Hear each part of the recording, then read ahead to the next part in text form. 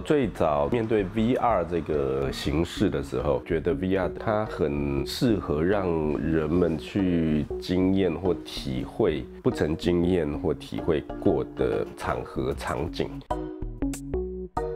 写的这个故事说，有个年轻人他去应征，然后一直不断的被辞退辞退。那透过这个辞退，我们去看到他每一个被辞退的那个现场。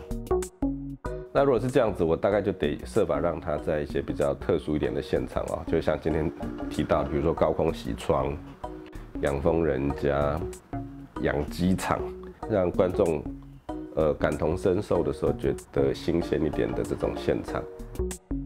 我觉得我自己其实有一点巨高，所以那个高空对我来讲蛮有感的，因为我们先去做过一次简单的测试。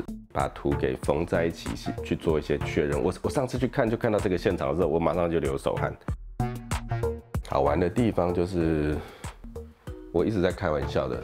大家问我说：“哎，拍 VR，VR 现场是怎么样？”我就会说：“VR 现场怎么样？我也不知道。我拍那么久，我也不在现场，我一直被赶走，所以我也没看到现场是怎么样。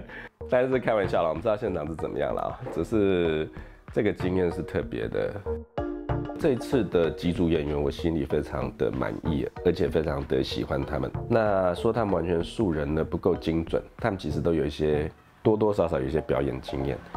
我希望他们看起来的样子蛮有说服力。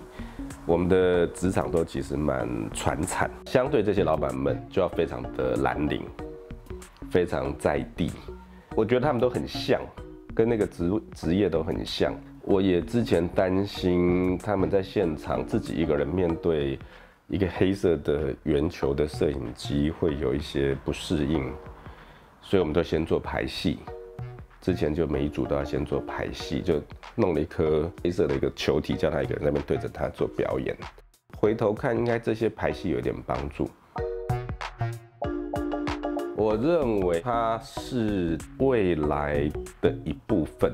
现在除了 VR，也有很多的，比如说 AR 也在走，也有一些体感的事情在在加入嘛。我觉得对于下一个阶段会是什么，对于下一个可能是什么，你是带着欢欣的心情，就很容易去创造的出来。太过浪漫都无所谓，都都比太过。不浪漫来得好，我觉得。